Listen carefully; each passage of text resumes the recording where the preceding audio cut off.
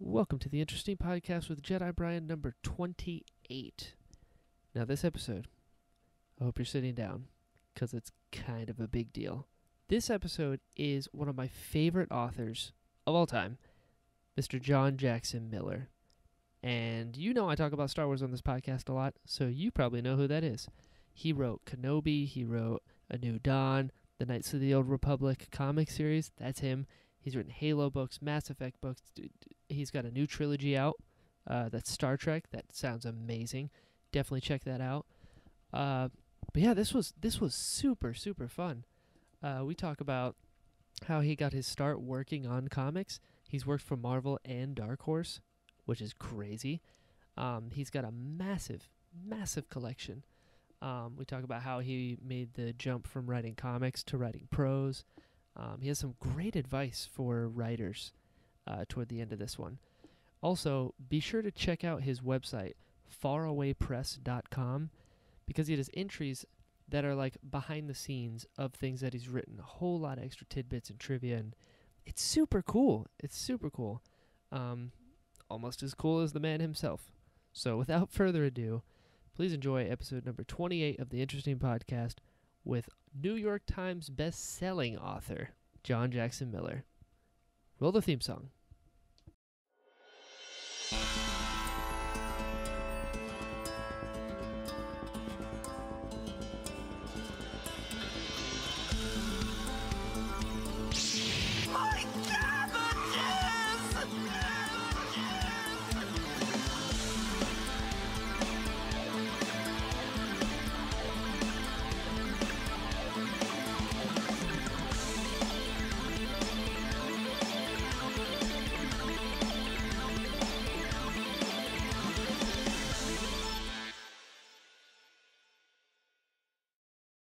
Hello, John. Hey, how's it going? Uh, great. How are you? All right. Can you hear me okay? Yes, I can. Right on. Right on. I just got this new mic set up, and uh, I wasn't sure how it worked yet. And it works, Okay. so you can hear me. So, hey, we're already off to a good start. All right. How are you? I'm all right. Good, good. You're Central Time, so that is not North, technically. Uh, it's what's west. It's uh, well, well, west and north because I'm in Wisconsin. Wisconsin. Yeah. I have not. Is it cold there right now? Uh, yeah, it's about 30 degrees. Oh, I live in Florida, and Yeah. last night we hit 48, and it felt like we were all gonna die. Well, I'll be there in about three weeks, so hopefully it will be uh, still Yeah. still warmer. Yeah, keep keep that cold to yourself. Yeah, I'll try to do that. Well, first and foremost, thank you so much for your time. I can't tell you how much I appreciate it. Sure thing. Um, but yeah, so I won't waste any time. I got a lot of questions, Okay. and people submitted them, and I've been a big fan of yours for a long time. So if I geek out on you a little bit, No, it's all right. my right. bad. That's not a problem. um, so you you write comics, I have done quite a lot of that. Yeah. A lot of comics.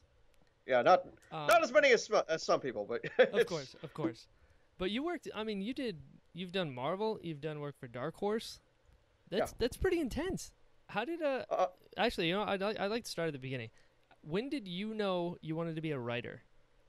Uh, well, I I never really knew anything else because, uh, you know, I started, uh, you know, books were always in my house as a kid. Uh, my mother was a grade school librarian, uh, and so, you know, I started getting comics when I was six years old, and you know, she didn't throw my comics away like some people's parents. She actually, you know, suggested that I keep them in good shape and put them in order, and uh, so I I still have everything that I ever had from way back then.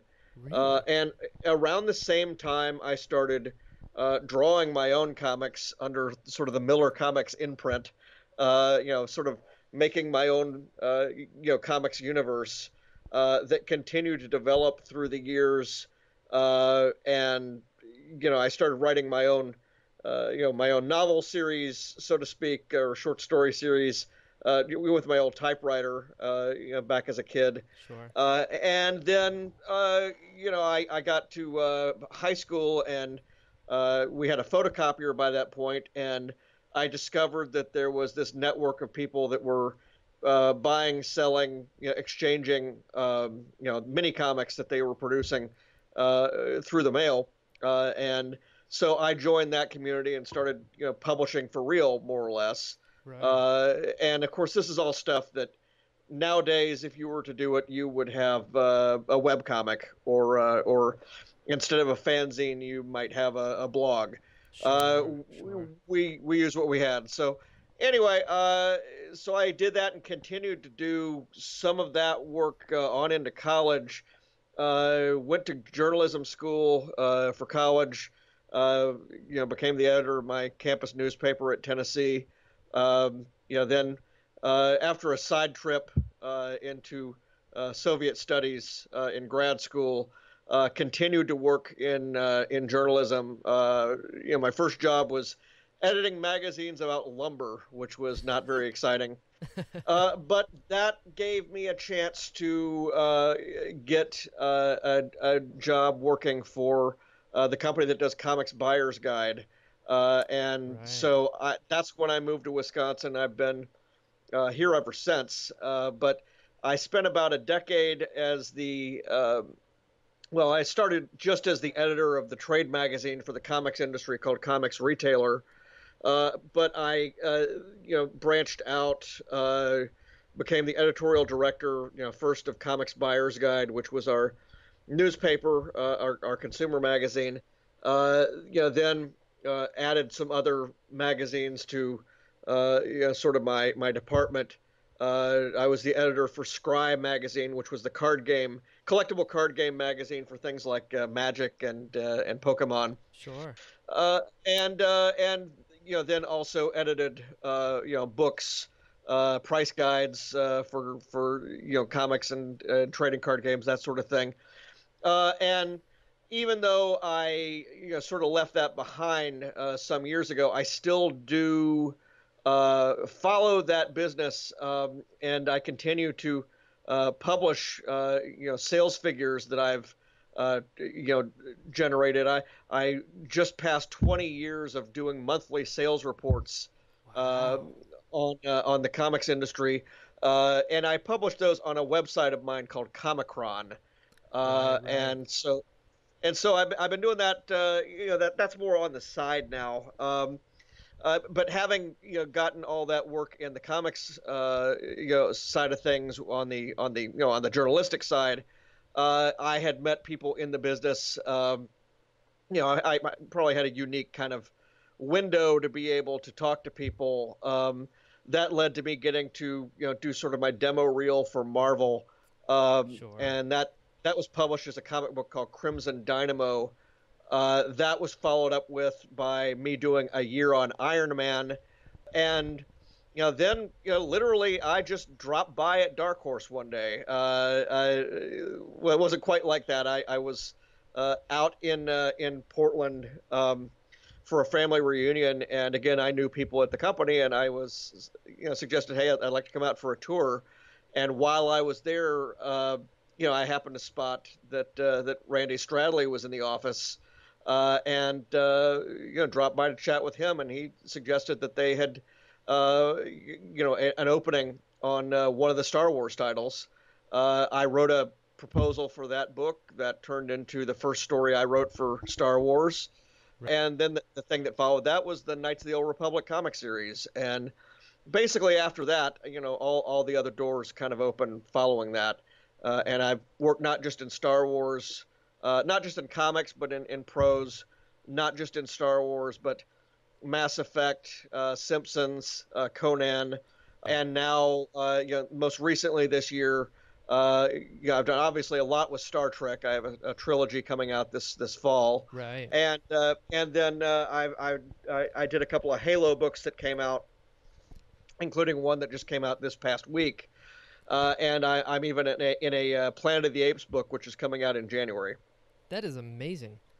It's also super cool that, like you said, like a lot of kids back when, you know, their moms did just throw away their comics. You know, they'd go away and whatever, and their mom just threw away. So it's pretty amazing that your mom kind of got you started in collecting, like properly Yeah. collecting. Well, I, but I don't think she thought of it as collecting. I think she thought of it as well. Know, it's keeping a library. Sure. Uh, it's Oh yeah, because she's a librarian. That's amazing. And you know we uh, you know certainly certainly you know your, your your folks spend money on these things, so they, they probably would think it's a good idea to hang on to Yeah, it. that's a good point. they don't want to see money that they've spent just go in the trash. That's what I would think. Yeah. Uh, what was your favorite comics growing up? Oh gosh, well that would be. Uh, it depends on the year. I mean, the the, the first three or four years, uh, you know, when I was in elementary school, you know, I was reading, you know, Richie Rich and and Uncle Scrooge and Pink Panther and those kind of things. Sure. Uh, yeah, my uh, probably my favorite stuff either would have been, you know, the um the uh, you know the the Uncle Scrooge comics by uh, Carl Barks, uh, and that incidentally is the origin of. Uh, you know, uh, my my website is uh, and my and my studio is called Faraway Press, Right. uh, and I'm JJM Faraway on Twitter. A lot of people think that the Faraway actually came from Star Wars. Actually, it predated that. Um, you know, I I had uh, that was actually uh, it came from the the the uh, the uh, the Uncle Scrooge comics of Carl Barks. Really? Uh, and yeah, and uh, and so you know, I had a, um a comic strip called Faraway Looks for some time, uh, and uh, that uh, you know predated a lot of this other stuff, and uh, and uh, that was that was actually uh, you know what I was working on when I uh, you know got in touch with Marvel. I had just done my uh, you know the first collection of those comic strips uh, that that I had done. That was back when I thought I could draw. I don't even try now. um, but uh, you just use your words now. but yeah, I mean that's uh, so that was probably the, my favorite stuff early on. Um, Sure. you know, then uh, you know, Star Wars. The first sort of grown-up comic book I got was Star Wars number one when the when the movie came out. Right. Uh, and you know, I, I, from thereafter, I was into, uh, well, the the main Star Wars title Mm-hmm. definitely. Uh, also, I, I was big on Amazing Spider-Man, uh, Sure. and uh, uh, also, you know, a little later than that, uh, X-Men, uh, and and I was pretty much a Marvel guy. right. Uh, but I, I did read, uh, you know, Teen Titans and, and some of those other, you know, DC books.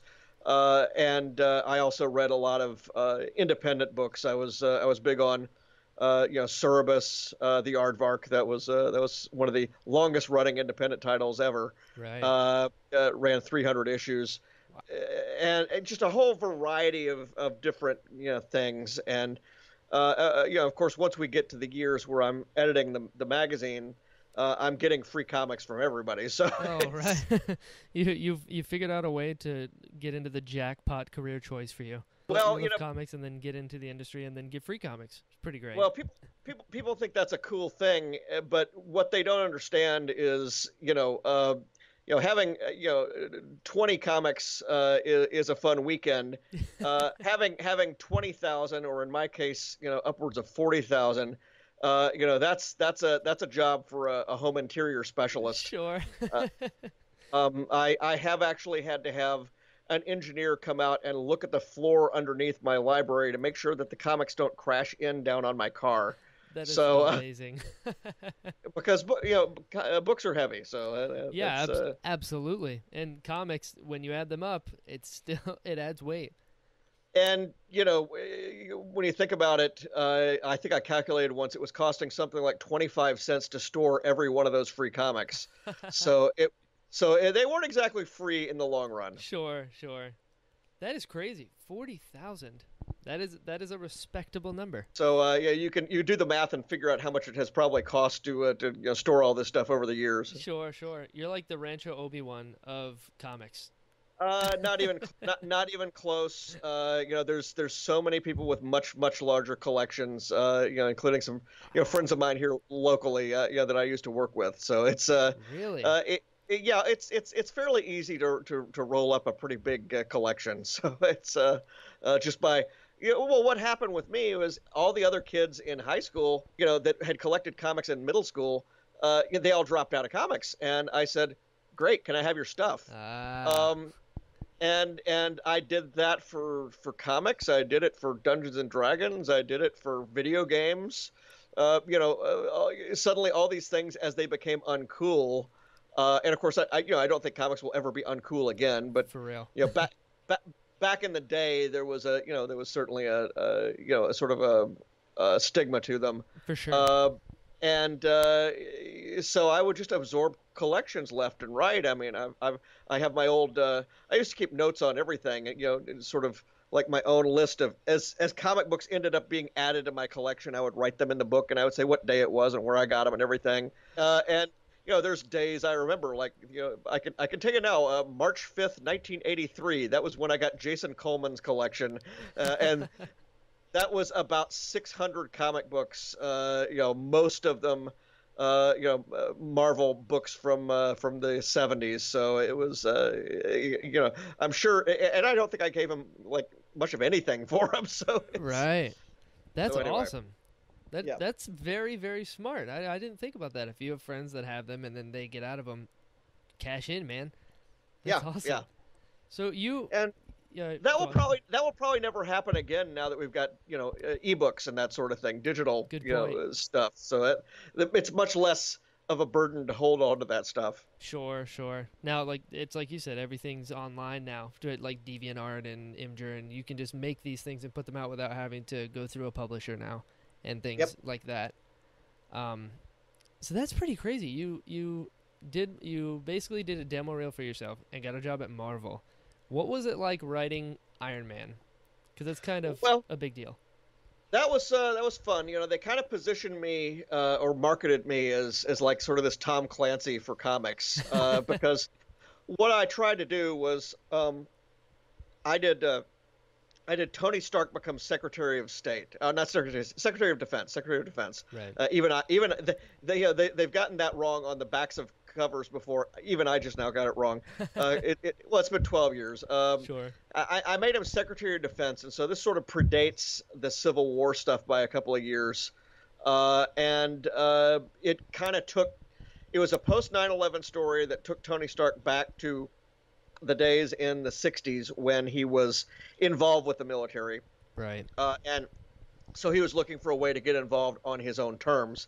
Uh, and so we published uh, we published all of that, and uh, you know that was uh, that was it, it- it was fun because I was able to draw on a lot of different eras of the series because I had all of those comics uh, all the way back to the very beginning Right. uh, and uh, and so you know I, I would that was a, that was when I started doing the, the the notes that I do on my website on farawaypress.com where you know I'll say here's where we got this character from here's where we got that character from uh, and you know this is from the 60s this is from the 70s uh, but at the same time I was also making sure that everything that I did uh, was based in reality in some sense Sure. because there was all this military equipment in it. So that was another thing that I did on the website is, you know, hey, here's here's what uh, here are all the actual military vehicles that we used as models, you know, where I sent the information to the artist, uh, you know, to to design these things, um, and you know, I you know ended up going to a friend of mine who worked with uh, uh, he, he worked in Air Force public relations uh, to get uh, some information about uh, you know what one of the uh, big transport planes looked like on the inside. sure. Uh, and and so you know I was able to provide all this stuff uh, to the artist, and you know a, a good a goodly amount of it got through, and that's that's uh, one of the reasons that I keep the site is sort of you know here, you know this is like the footnotes. Uh, this Right. is further reading. For sure, for sure. You were involved in one of my favorite comic series, uh, the Disassembled storylines. Uh, that was it. Yeah, disassembled. Uh, I wrote the disassembled prelude, um, and what happened there was, I actually had a completely different plan going uh, for the comic series, and then they came along and said, "Well, we're probably going to do something in the summer uh, instead, uh, where we're going to do an annual crossover, and it might be." You know, they were talking about Atlantis Attacks 2 or something like that at that point Sure. and so and so I came up with a completely different plot line, uh, and then they came back and they said, "Well, we're sorry to tell you, but we, we've decided to give the entire universe to Brian Michael Bendis next year, and and at the same time, we're going to give your book to uh, well, it wasn't really my book, but we're going to give Iron Man to Warren Ellis, uh, and he's going to do the Extremis series." And if you could take two issues to wrap up your storyline in such a way that it will tie into the beginning of Avengers Disassembled, and uh, that ended up becoming uh, you know that story arc that I wrote at the very end there, Mm-hmm. uh, and uh, you know it, it was a it was a decent little uh, you know story arc, and it, it was a it was a good run. I mean, I got to write all the Avengers pretty much in that last uh, story I did, uh, and that actually is the only portion of my run uh, that is available in print uh, reprint because uh, while it's all on Marvel.com. Uh, none of the uh, earlier books have you know turned up in reprint yet because I guess they're just not old enough uh, to. Uh, and, but the but the Avengers disassembled stuff is uh, still in print. Uh, you know what nobody can find is Crimson Dynamo. That was something where I did that on a different contract than everything else at Marvel because it was part of a line called Epic, uh, and none of the Epic stuff is on Marvel.com Oh. And so you know I, I would like to talk with them eventually about getting that you know, back available because that was also a good little story it just wasn't you know intended to be anything like a blockbuster Sure, sure. I have uh you've done cons multiple times and whatnot, and you see a lot of the indie comics as well. And I was amazed at how much work goes into a comic book. And Oh, yeah. going the indie route, like you're you're responsible for literally all of it. Like it's not going anywhere unless you forcibly make it into something and then push it. Uh, well that is uh, that is actually what crimson dynamo was the Right. the epic the epic line was the idea was we're going to hire outside people to do you know a, a number of comics and what i did was yeah i i, I pitched my my series proposal but then they came back to me and they said okay we need you to actually assemble a team uh, uh, artists colorists letterers and you know deliver the files uh, and that was beyond me. So I I went and got a friend of mine, uh, Mark Patton, who had a, has a company called Destination Entertainment, uh, and he does packaging on uh, on uh, on you know, books and that sort of thing. And he went out and he found everybody and he hired everybody and he, he and and you know I just I just signed the check. So Right. He was the Nick Fury of your group. uh, that was and that was that was necessary because I really needed to focus my attentions on the writing. Uh, and you know, I'll be honest, that's one of the reasons why I have been slower to get my own intellectual property out in terms of a comic, Mhm. uh, because you know that yeah, if I were to do a comic book for Image, that would be the same way. It would be Right. it would be the same same deal where I'd have to do you know all of the stuff involved with getting it ready. Uh, and once again, you know, I'm just not sure that's the best use of my time. Sure, sure, absolutely. It, it's a ton of work. Um, so how how does that differ from working for Marvel? Like, what what is Well- the day in and day out like? Well, uh, w- when you're when you're working for the publisher, where the publisher uh, is actually hiring the artist and everything else, Mhm. uh, uh, well, obviously that's much easier right there. Uh, it, it then just becomes a matter of uh, you know, if you're just working on something like a Marvel book where you're talking to just the editor who runs things, or Simpsons, where it's just the editor who runs the Simpsons comics, you know, then it doesn't have to go through a third party, uh, and it's a little bit more streamlined. If you're working Star Wars uh, or um, you know Star Trek or Mass Effect or Halo or something like that, Sure. well, then it's got to be sent on to the people who own the license to approve whatever is going on. And that uh, experience can either be easy or hard. And, uh, you know, there are. Uh, there are some companies that are really easy to work with, um, and you know, Star Wars. That's obviously one of them because I work with them frequently. Sure. Uh, and then there are other ones that tend to be more, you know, for various reasons. It just be, is more problematic. Right. Right. Uh, and so, uh, yeah, those tend to be the ones that you don't continue working with uh, or don't work with as much. And uh, and so, uh, but uh, but again, you know, it's the price you pay for working in somebody else's sandbox. of course. Uh, so so yeah, there's a different workflow there. And what will happen is, you know, they will either give you, depending on the company, they will either give you a lot of opportunity to, uh, you know, see what's happening behind the scenes, hmm or not much at all. Um, Gotcha. you know, I, I, you know, Star Wars. It was, you know, the case that I would frequently get. Uh, you know, they'd send me the they they would send me the uh, you know the finished pages uh, as they were lettering them, and they would suggest, uh, hey, is there anything you know that's that's different or yeah, anything in the art that needs to be explained in the text? And I would I would have the chance to do that. But then there were a lot of times uh, where, because of deadlines or just because of you know, how the editors were working things, uh, that you know I didn't get that chance. Uh, and uh, in fact, uh, you know, here's an example. Um, you know, the the the the Halo uh, story I just did, which came out Wednesday in in a book called Halo: Tales from Slipspace. Uh, you know, I wrote that thing a year ago, mm-hmm. uh, and the first I saw of any of the art uh, was when the book arrived in my house last week. Oh. so, wow. So you know, well, the good news is it, it was all fine it, sure. and it looks good. Uh, but but again, you know, you just you you learn to be uh, aware that your process is going to vary uh, from month to month, even uh, depending on what's going on. Um, sure. And uh, and who they're working with and how many other people they're working with.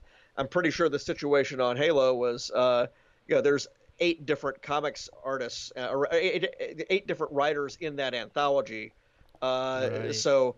Yeah, uh, sending everything out to everybody would probably take forever. Yeah, that makes sense. That makes sense. Um, what were the biggest differences between working for Marvel and Dark Horse, if there were any?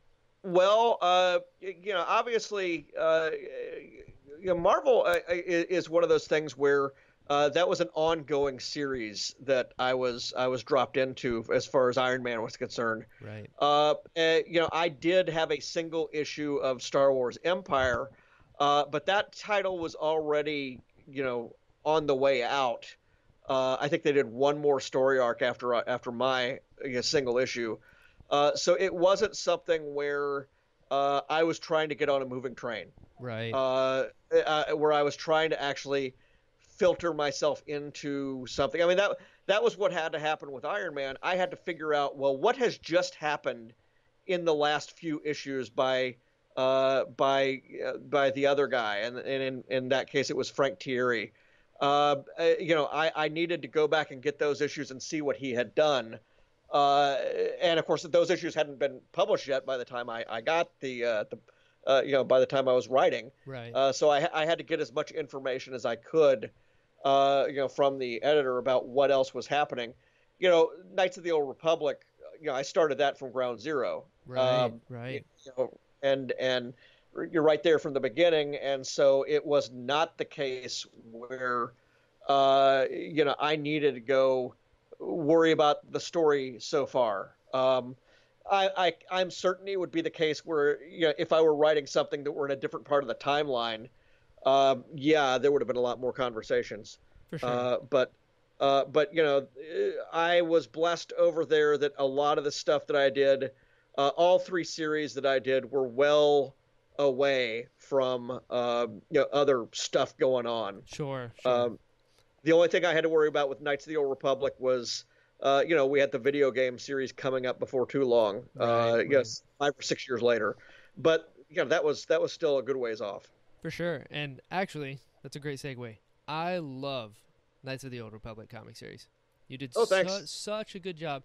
Every time I pump gas, I think of Griff. every yeah. every single time. I was what, like, if someone, why, why, why pumping gas? Because in one, I think it's the first issue when he steals the ship from the fueling station and there's no gas in it. Oh yeah. And I was like, that is such a perfect like comedic tool to be like, oh, I stole a ship before they put gas in it. And I yeah, just remember laughing so hard. So or whatever, whatever the uh, yeah, whatever that was. Yeah. Yeah. I, just, I, I, I, I can't, I can't remember, but yeah, it's, it's. uh well, I, I worry about little logistical things like that. Yeah. Um, but uh, but yeah, that that was uh, that was a fun series, and the, you know the nice thing about it is you know Marvel uh, brought back the uh, the books in uh, the Epic collection yes. that they've done. Uh, the first one is the first 18 issues plus issue zero. The second one comes out in March, and that's the next you know 19 issues plus the handbook, which has never been reprinted, and and you know, that's that's that's that's awesome. And also they went back and they grabbed the um, they grabbed the the uh, text pages that I did uh, in the second year of the series. So uh, that was uh, now now finally there'll be a way to get all three. Uh, uh, just you know, you get those three books and you have everything. Sure, sure. as the creator of Knights of the Old Republic, how much say did you have on the design of the characters? Because like the Jedi Masters Uh, had elaborate tunics and look great. Zayne Carrick has a very specific look about him. Like well, all the vi- all the visuals came from Brian Ching. Uh, you know, I made some suggestions. right. Um, you know, I you know I totally endorsed you know just about every decision he made. I can't remember. Uh, I, you know, in fact, he he sent me in a different direction. Uh, you mentioned Griff. Yeah. Uh, you know, Griff was originally going to be an Ortolan. Uh, You know, a you know.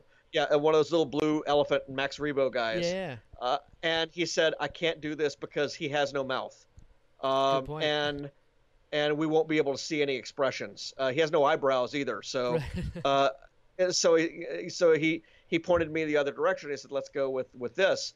Yeah. In the meantime, you know, he came up with a a vision for Jarael that was great. yeah. It was it wasn't, however, what other members of her species look like.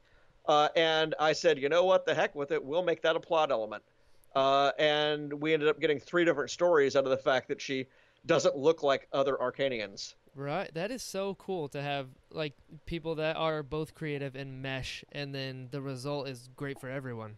Because Gryph, Yeah, Gryph um, is such a cool design as well. And you know, when you have time, that also helps. Of, uh, of you know, we, uh, I think I turned in that first script about 11 months before the the first issue came out, so there was a lot of time. uh, it, it it still was not enough time because we ended up having a fill-in artist in the first uh, six months. And that's always sort of been. Uh, you know the one little, you know, not not that the art was bad, but it was, was just different.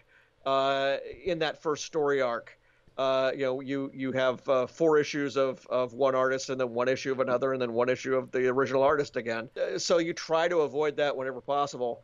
Uh, but again, that was my fault because I dropped issue zero on them, uh, and there wasn't originally going to be an issue zero, and Right. we thought, well, we we needed to have Brian draw issue zero, so uh, yeah, he ended up getting pulled off of uh, our our own book uh, to do this other book. So. That's amazing. Uh, Zayne Carrick, super cool name. How do you keep naming these things with such cool names? Zane felt like a, uh, you know, it, it was a Western name, obviously Zane Grey, uh, Right. Western author. Uh, also, you know, by by putting the Y in there, I kind of do that always anyway, just to make it a little bit less earthly. But but the thought the thought also is, you know, Zane is is like one letter away from zany. He's he's somebody that you maybe can't take too seriously. Right. Uh, uh, Carrick was uh, was the name of my dormitory uh, in at, Wow. at college. Uh, I did that twice. Uh, Carrick Hall was where I lived for most of uh, most of my undergraduate years, uh, uh, and then for a small time I was living in uh, a, a, uh, a an apartment complex called Holt H O L T. That became Kerra Holt's last name Ah. and uh, and yeah, actually, it's kind of sad because uh, Carrick Hall is spe- scheduled to be demolished next summer. So, oh no. uh, and and Holt Hall has already been demolished, so uh, they're replacing it with something new, and hopefully with cable TV because we didn't have cable. but uh, but yeah, uh, yeah, Kerra, that's another one where, you know, uh, the Kerra is actually a contraction for knight errant, K E R R A Oh wow. it was a placeholder name that I put in there so I could go ahead and start writing. And I just said, you know what, I like the sound of it. Let's let's keep it. So yeah, sometimes it's no more uh, you know no more fancy than something like that. Sure, but that's a deep dive to previous work. So that's that's really cool. I never knew that. Yeah, it's uh, uh that's one of those things that people can find out on farawaypress.com because I've got these trivia pages on every issue that I've ever done. Right. Okay. Okay. Uh, so working in comics for so long, what made you want to move over to writing novels? Uh, well, I guess because you know my day job was was writing uh, in Right. prose. Uh, you know, I'd, I'd been a journalist, and uh, I you know I had always wanted to um, you know to try my hand at it. Uh, and you know, starting at Star Wars is really kind of starting at the top, the same way that starting with Marvel is kind of starting at the top Good point. for comics. Uh, you know, my, my route is not usually going to be something anybody else is going to be able to do. Uh, it, it was it was a one time kind of a thing Sure. uh, that I, I really lucked out that I had those relationships. Uh, but you know what happened was I kept wanting to get some fiction into Star Wars Insider Uh, Ah, Ins in, Insider was going through some changes at the time, and they didn't run any fiction for a good couple of years. right. Um, but um, but they were doing uh, fiction over on hyperspace, uh, and I remember that was- hyperspace. that was the uh, that was sort of the paywall area behind uh, StarWars.com, Yep. and that was being run by Pablo Hidalgo. Uh, and uh, Pablo hired me to do uh, a short story that tied in with uh, Knights of the Old Republic, and uh, then I did another one, and you know then I did a few more, and uh, then I was connected. Uh, you know my my the uh, the uh, uh, the fiction editor at Lucasfilm uh, connected me with uh, uh, Shelley Shapiro at Del Rey when they needed some short stories done for the promotion of Fate of the Jedi. Right. Uh, and that led to me doing uh, these eight short stories that appeared for free online over the course of the first uh, three years. Um, well, what what it was the three years during which they were releasing the Fate of the Jedi novels, uh, and that was Lost Tribe of the Sith. And right. uh, and you know those books, uh, it's it's those little ebooks.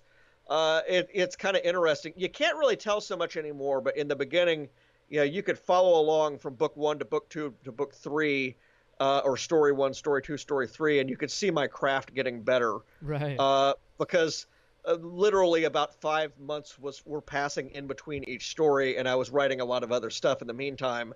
Uh, so you know the the the very first thing, which is the thing that most people saw first, was probably the worst, but uh, which is uh, unfortunate. But uh, but then what happened is when we collected it um, and we added uh, you know an additional novella to it, I went back and I I re-edited uh, you know the original stories. So hopefully the you know the when when people are getting the uh, the uh, the collected edition, uh, they're getting a much better uh, and and a, a more coherent book.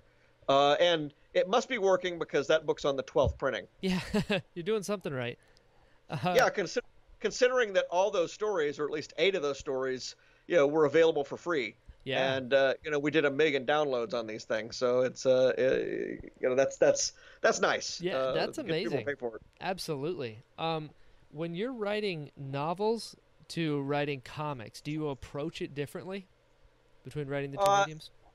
Yeah, I think you have to. I mean, ob- obviously, uh, there are tools that you just don't have uh, in comics, in in the sense that, uh, you know, you uh, a lot of things that we used to use when I was a, a kid, like thought balloons, are gone. Right. Uh, you know, I don't use a lot of narrative captions, uh, where the the narrator is in there all the time, you know, piping in with with details and and stuff like that. right. Uh, so uh, yeah, I, I, I, so I have I have that kind of to to uh, be part of my toolkit in prose because I can say what characters are thinking a lot more often. I can get into a lot more detail about uh, you know some things that are less visual. Um, at the same time, you know, it's on me in the novels to uh, tell you know people what characters look like and everything. What I found is that the more I'm writing, the less and less of that kind of description uh, I'm I'm doing. Um, Really. You know, I, I I find that the reader really doesn't necessarily, and every every author has a different style. Sure. Um, but uh, you know, I don't know enough about wardrobe that me describing the uniforms that characters are wearing is going to be that compelling. Um, uh, you are going to be more interested in what my characters are saying and doing. And you know, I, I, uh, yeah, I, I think you know how how many characters do we know what color their eyes are just off the top of their our heads? You know, That's a good point. uh, that tends to be the sort of thing that they always drop that in there everywhere. Uh, you know, uh, his blue eyes uh, darted from room to room. You know, eh, eh, well, you know, it's it's. Uh, d- d- does it make the story any better to know that, or you know, are, are we less in connection with that character, uh, you know, for not knowing it? When we did uh, A New Dawn, uh, you know, sort of the the first book in the the new era of storytelling at Oh, uh, yes. at uh, at Star Wars, um, you know, there were some sequences with aliens where I didn't even tell you the species, It's true. I noticed that. and and, and I didn't even tell you the species because um, in many cases, uh, you know, the species that we had chosen were ones that had never been mentioned by name in the movies, Right. uh, and so we didn't want to get things complicated by having to drop everything uh, and say. Oh, by the way, this person is a Rodian, uh, uh, and the Rodians are the, you know, whatever, uh, the, you know, the, the, the green snout-mouthed guys uh, like Greedo. Right. That would be fine if I was going to then talk about Rodians. But if I'm just having a couple of characters, you know, dueling, it might not be that important. Absolutely. Um, and you know, if you're going to do a deeper dive into that character's life, sure. Um, but you know, any one of these novels, you're going to have, you know, 10, 15, you know, characters with major speaking roles, and then you know, 50 other people. Uh, and how much do we really need to know? Um, you know, that's that's been one of the occupational hazards uh, when I've been writing Star Trek. Uh, is that you know I'm I'm writing on you know these ships that have uh, lots and lots of crew members, uh, and their species are already determined by other authors. Uh, their uh, their ranks are already determined. Uh, genders, all sorts of other things already figured out. right. Uh, and so I, I actually have to work from a spreadsheet to make sure that it's it's it's all correct. Um, and uh, you know, I, I fortunately there haven't been uh, many errors in the the Prey trilogy that uh, is is out now. Uh, but I can tell you a couple of them are indeed that where I just got the ranks wrong. That's okay. George R. R. Martin like changed the sex of a horse, and everyone Uh, caught it. well, you know, one of the nice things about Prey, and I, I guess I'll talk about that for a few minutes here. Prey is this uh, P R E Y, as in Birds of Prey. It's a it's a trilogy that I wrote for the 50th anniversary. Uh, it's been releasing monthly. Uh, the third book uh, comes out uh, November 29th. Uh, and actually begins to. It's probably on shelves starting about right now, anyway sure. uh, when we're when we're recording this.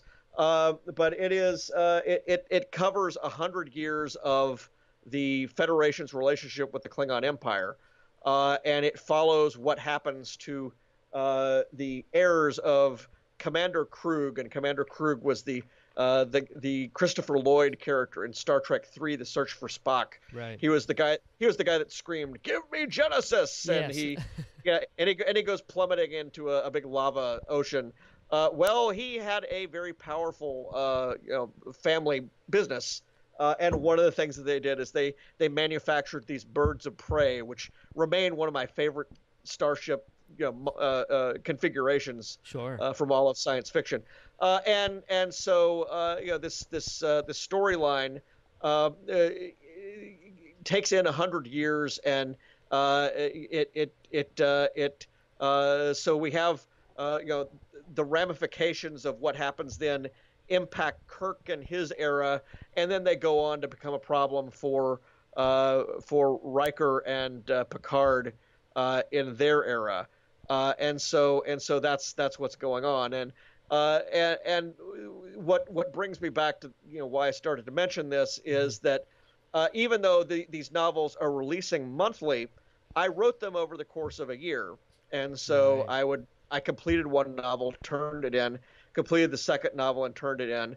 Uh, but what was happening was uh, I was able to, uh, for a good long stretch of this summer, I had all three books back on my desk at once at, at different stages of proofreading.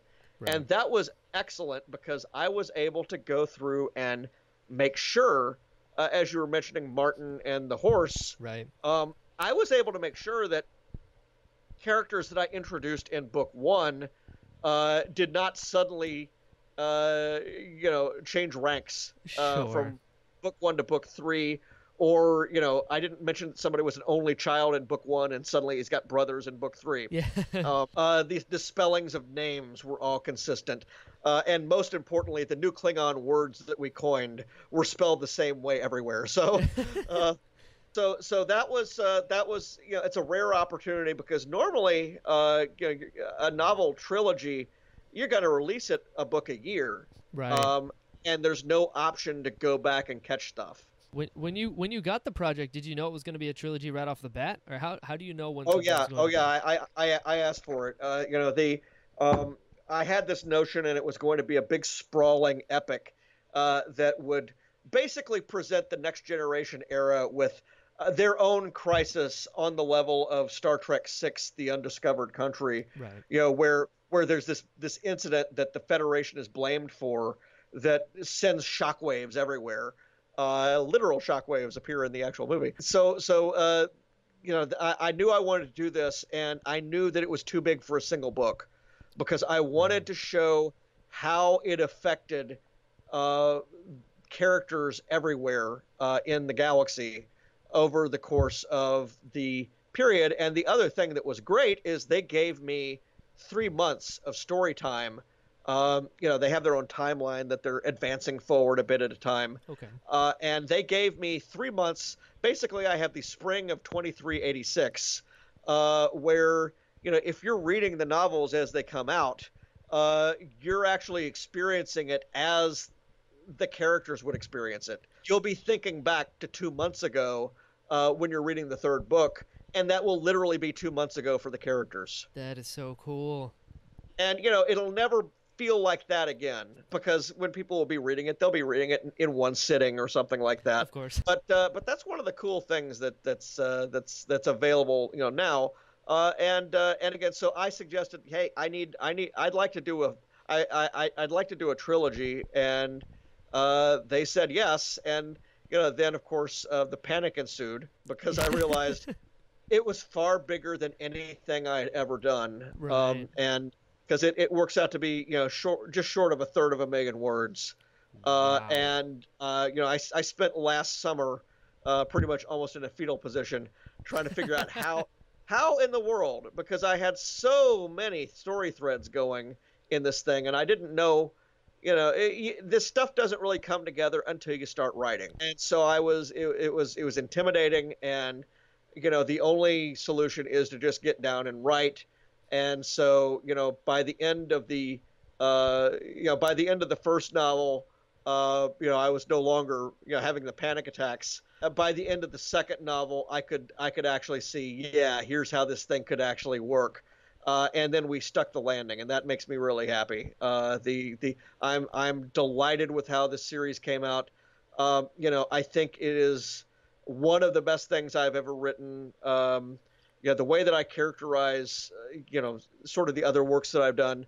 Knights of the Old Republic was the longest thing I ever wrote, uh, but the but the execution wasn't perfect because there were things you know beyond my control, uh, and you know changes with artists and that sort of thing that uh, that just happened, and and you know uh, uh, audibles that were kind of called at the uh, at the line of scrimmage, uh, so that we could add things like vector and various other things. Uh, but that was the longest thing I ever did, and I'm proud of that. Uh, Kenobi is probably the thing I did where the execution was flawless throughout, in the sense that I wouldn't change a word. Everything I intended to do uh, made it to the page, and you know I don't have any regrets about it uh, at all uh, in terms of in terms of what we did. Uh, but it wasn't very long. I mean, it's it's a single novel. Right. This experience on Prey gave me a chance to do both at the same time, which is uh, take the time to do something that is imagined from the beginning in one piece, uh, and where I was able to kind of control it all the way and make it look like it the way I wanted. Uh, would I change anything? Yeah, I would. I would, you know, catch a couple of the errors that still did get through, uh, and, and in fact, we have caught them, and they've been fixed in the ebook already. Uh, so- That's awesome. and and when we and when we're talking uh, you know errors, it's stuff that 99% of the people who read won't notice because it's it's somebody who you know was promoted from uh, ensign to lieutenant uh, 17 books ago, uh, Right. and yeah, unless you actually have read them all, you're not going to know. Right, right. But that's like you know any artist when they create something, they're like, no one else sees it, but I do. That's how, Yeah. that's funny that you went back. That's amazing. Uh, Kenobi. Kenobi is the one thing that like a majority of Star Wars fans have always wanted told. That that section that you tackled, and I Yeah. I gotta thank you up front. Qui Gon is my favorite Star Wars character. Like Yeah. I, I got of all of them. So if he's in anything, I'm like, he's back. You did it. And that book you did so well, having it like be the suspenseful thing where you're waiting for it to happen the whole time. It was it was so good, and the I just I I love it. You did great. You did an amazing Yeah. job telling that story. That you know Jedi who. Uh, Well, it's sort of the wait, sort of waiting for Godot, or you know, waiting for Gu- waiting for Guffman, except you know, it's waiting for Qui Gon. That's right. That's exactly right. Um, you know, and I won't say how it ends, but you can imagine how the other two ended. yeah. Um, well, the whole idea was I wanted to, you know, show him coming to grips with the fact that okay, this is my life. right. Um, you know, this is this is uh, this could be. He he doesn't know whether you know we we we you know, in in in in our real world we deal with you know, you know political elections and we deal with job changes and we deal with uh, you know health issues and whatever Sure. and we we don't always know whether a change in our lives is going to be for a day, a week, or for the rest of our lives. Sure.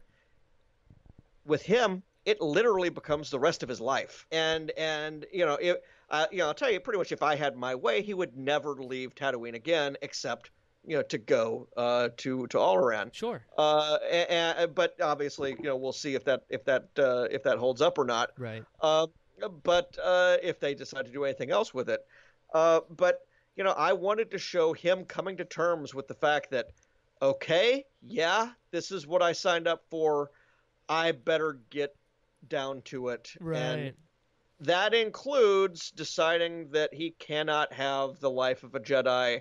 Uh, you know, helping people, saving people yeah. it also it also means he has to decide you know what i i, I can't have uh, uh, uh you know wife and family or any other kind of a life than than uh than he's you know than he, he ends up having right. uh and you know that was that was always part of this all the way back into the very beginning and again on my website there's a long essay about how this thing started seven years earlier Right. um, back in back 10 years ago uh, 2006 it started as a graphic novel idea and um, you know i realized it would work better in prose and then i had to wait five years to get the chance to write it so um, right. you know save all your ideas Yeah.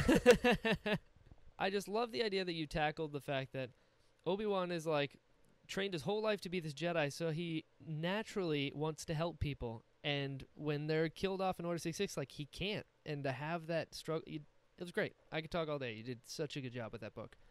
Well, I appreciate it, and you know, I, I feel that as I say, everything came off perfectly.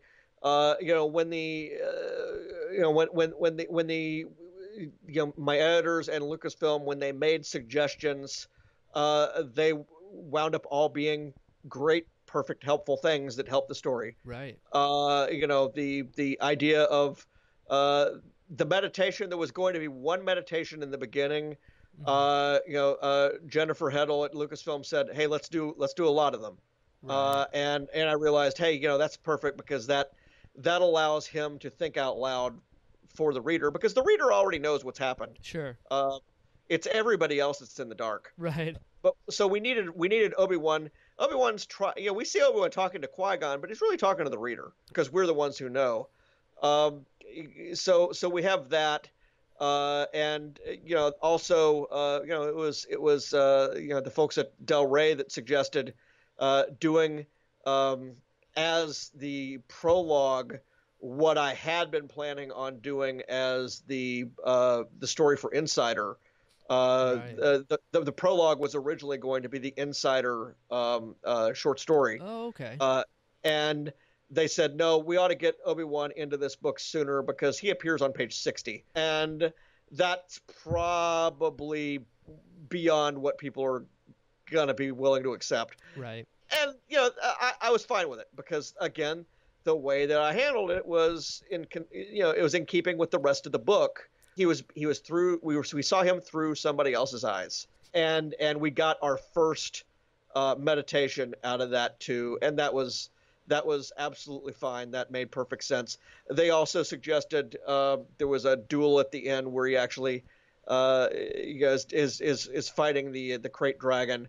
You know that again is something that was suggested that hey, you know what? It would be good to pay off all these Krayt Dragon calls we've done all throughout this book. Right. Uh, and again, perfect idea. Uh, you know, when you know when when changes come in, you, you'll you'll see you'll see these requests, and they'll make you hide under your desk sometime because you'll.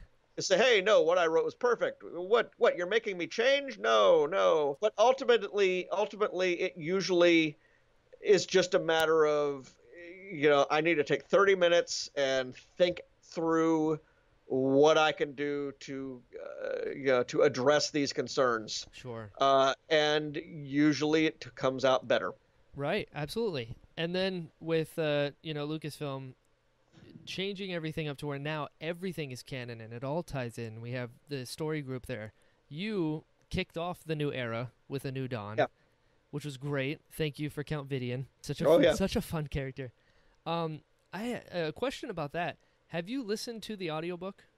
Oh yeah, Oh, I, they did one of the, such a good job. one of, one of the jokes I say is that Vidian's voice kind of you know scares my cat off the couch. You know, whenever it comes on. Um, yeah, and I and I like the fact that that Vidian, uh, Vidian's internal dialogue uh, has a different sound to it. It's it's the sound he hears in his own head. Right, right. Uh, and and so yeah, I, I think that that's uh, and and that internal dialogue voice is actually, uh, as I put it, that's the voice that he uses in his uh, in his motivational holograms. yes, it was like a uh, pre-recording of like build bridges, move forward. Yeah, yeah. Uh, what what he what he does, you know, he's able to adjust his, uh, you know, he- what he does or what he says Right. uh, for various audiences. And you know, when he's in his in his working role, his whole thing is he's trying to scare the heck out of people, and so Right. Uh, he he uses that other uh, that other sound. For sure. It it's so good. Um in that uh, how did how did New Dawn come about? Cuz it's it's Kanan and Hera. And Yeah. like Rebels is a big thing. Like did you seek out and be like I have this story or did they have like a list and be like we want you to write this story? All right. No, yeah, that, that that came from the other direction. Whereas Kenobi was all my you know notion. Uh, yeah, I was actually you know signing Kenobi for um, Del Rey at uh, New York Comic Con. Uh, met with the editors and uh, I said uh, basically what's what's what's coming along here, uh, and they they knew that they had two villain centric books that were in the works. Uh, one was Tarkin, Mhm. another was uh, Lo- the book that would become Lords of the Sith, Right. uh, and they wanted a heroic book. And they also, uh, you know, there was a desire at uh, at Lucasfilm to get a novel that tied into Rebels. right. Um, and again, they didn't have anything for Rebels yet. It was actually at that event that they did the first Rebels, uh, you know, screener, uh, or, or it wasn't even really a screener. It was a, it was a panel where they had, you know, some visuals. Um, and uh, and you know, I said, uh, you know, I I could uh, I could pitch for this, sure. Um, and uh, because it was it was going to be a matter of uh, simply, I would need to get enough information from Lucasfilm about the the series, um, Right. and some, some some some suggestions from them as to when to set the thing. Mhm. Uh, and uh, you know, we ended up going through four or five different uh, drafts of the plot. Um, you know, and so this takes us back about uh, you know three years ago this time, Right. uh, where I was uh, you know uh, in the at, at this at this point in time I was uh, waiting to get uh, a, you know a conference call lined up uh, to talk with uh, Dave Filoni and the rest of the folks uh, to get a better handle on what they were looking for Mhm. uh, because you know I uh, the the guts of the novel that eventually came out uh, were mostly there. Uh, you know the the planet of Gorse and Right. uh, you know the our hero being some kind of a truck driver was always there. um, however, you know it in the beginning it wasn't Kanan as the hero; it was a different character, and Kanan was uh, sort of the, the person that he runs into. And and then I realized, okay, no, he should be the he should be the main character. Uh, and uh, again, I'm always cautious about that because I, I you never know when you're starting. Well, how much of this character can you expose? How much of this character can you use Right. without getting into trouble? And so, yeah, in my first draft, uh, Kanan and Hera are both side characters. uh, and, you know, maybe the second most and third most important character, but that's that's what they were. Um, and what they said is, no, here's what you do. You can we can we can make Kanan an open book Right. without saying what he did before now. right. Uh, and we can also, you know, and we can use Hera, but we will, Hera will be closed closed mouthed. We will we will rarely be in Hera's mind, and when we are in Hera's mind, uh, you know, she has no reason to think about her history and her uh, her family and that sort of thing Right. uh, at this. And so, you know, uh, I, I think one of the crit- critiques of the book was we don't get to see enough of enough of Hera's inner life. Well, that's by design. and then Rebels explored that, you know, just this past season as well. They went there, so that's that's very neat. Um, what are the biggest differences working on Star Wars now with the story group, and like now that it has to be canon, like between Kenobi and A New Dawn? Obviously, Kenobi was your story, but is there anything else now where like you have to check and send it in to make sure it coincides with everything, or how exactly well, does it work? You always had to send things in to see if it coincided Sure, uh, sure. at every stage of the way.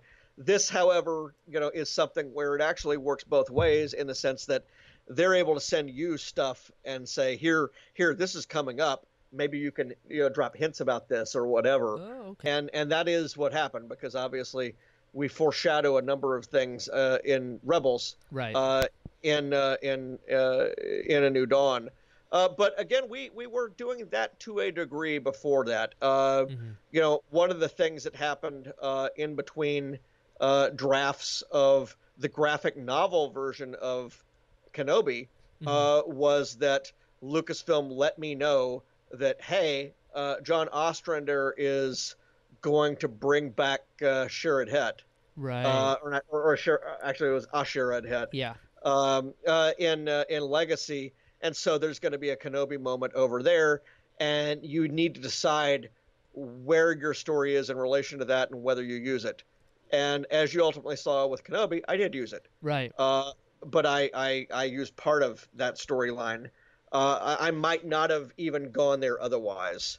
Uh, but so that was a that was again a case where a suggestion came from them. Uh, it was really more of a suggestion of here's a roadblock to avoid. right. Uh, you know, gave me uh, a story opportunity. Gotcha. That's yeah. That's one of my biggest questions I have with like Star Wars authors specifically. You know, you, Paul S. Kemp, James Luceno, like all of you guys, is now with the story group because you can't write something that would uh, go against something that we know now that it's all tied together. So it's pretty amazing that you have that sort of uh, creative liberties, but also fits in. You know, hinting at Hera's backstory, but not really giving any of it away. That's fascinating. You're a New York Times best-selling author. Yeah, that uh, that actually came first from um, Knight Errant, I think, How- and uh, that was that was my first novel. That we, we wound up uh, uh, somewhere near the bottom of the the paperback list. Right. Um, that was back when paperbacks still sold enough that actually they would land there. Um, you know, the there, there are now you know uh, so many James Patterson novels and everything that these lists are harder and harder to get on. Um, Right. uh, but uh, but yeah, uh, that got on there, and then uh, yeah, I think the second time I got on there was for my first Mass Effect graphic novel, right. uh, where, where I think we came in number two, uh, which was cool, and then Kenobi, uh, and uh, you know the uh, the you know the uh, I, I'm I'm going to be looking at the list probably next, uh, you know when uh, when the Halo uh, hardcover comes out Right. uh, in the mass market because uh, you know the hardcover graphic novels. That's again, I run this website where I have a, you know sales charts, sure. and so I have I have a sense of where the threshold is to get on some of these charts. So you know I, I'm not sure what the Halo book will do, but uh, but that one I'll at least look. You know some of the other books you, you just know right off the bat. Uh, you know the threshold is just way too high right. um, for certain kinds of genre books to make it. it's it's I gotta say it's pretty great to go to hear of someone as a kid loving comics and grow up with them to being on a chart. That's pretty cool. Cool. Yeah. So congrats Yeah, on that. yeah. it's uh, you know it's uh, uh, it, it's cool. It's you know it's also a job. I mean one of the one of the challenges one of the challenges now is you know while I was away writing all these Star Trek novels, I didn't actually you know, spend a lot of time pitching my next thing. So Sure, sure. uh, so I, you know, I have I have a number of uh, uh, plates that I'm starting to spin again, but uh, uh, really I needed a break, right, and right. Uh, and I, I've I've had that. So That is awesome. Um, I have a, a couple writers that listen to my podcast. Do you have any advice for them? Like- well, write write whatever you can. I mean, write always for an audience. Uh, nobody is ever going to see something you never let out of the house. Mm-hmm. Uh, so, you know, I would be looking for places where you can write to be seen. Fan fiction is is one of those places where you can write for practice to have other people read your material. Right. Don't pretend that you'll ever sell it. Uh, it, it, it, it's your fan fiction will not get you a job writing in the franchise you were in. Doesn't work that way. Uh, you know, there's just legally we can't look at it. Uh, the people that that do these things, you know, it's all invitation only. You have to come from a different. Uh, you have to you have to have come from writing something else. They must know you from writing something else. Gotcha. Um, and and so that means you need to be writing in other places where people can see you. Uh, and you know, it really doesn't matter what you write. Uh, you know, you could be writing articles uh, on you know high school basketball games for the local newspaper. It gets you accustomed to hitting deadlines and writing for people who uh, will read your work and provide feedback. Uh, it also gets you accustomed to the notion that you really should be writing for people to give you money right. uh, and and you know to, to to take yourself seriously and to take your work seriously you've got to look at it as a paying gig Sure. uh, and and so you you need to look for customers there are all sorts of people that that uh, you know uh, got in in various different ways uh, you know obviously the way that I discussed that I came into this business uh, it does not exist anymore in in a lot of ways sure. uh, and so uh, I think that that uh, uh, you know it, it's look at other authors, find out how they did it, uh, and you will almost always find out that they uh, you know were either journalists uh, or or something else in their own right uh, first. You know, Christie Golden, she worked for the editorial page of USA Today. Uh, Right. uh, uh, you know, uh, uh, Jason Fry. Uh, you know, I think he's he worked as a sports writer. Right? You know, there's there's a lot of a lot of other folks that you know they came working for other things. I work for business magazines.